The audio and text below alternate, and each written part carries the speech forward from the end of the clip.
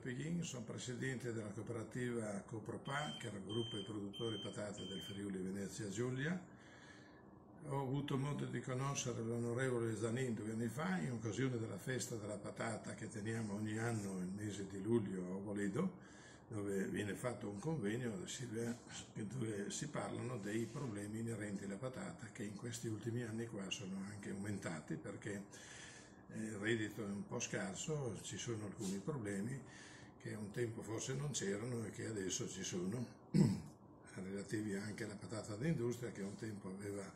anche un lieve contributo, ora non c'è più e quindi sta soffrendo in questi ultimi anni qua ed è anche in calo la produzione di questo prodotto qua. Con eh, quel convegno il presidente e il direttore di UNAP hanno avuto modo di conoscere l'onorevole Zanin e presentare alcuni di questi problemi qua che noi viviamo da un po' di tempo a questa parte.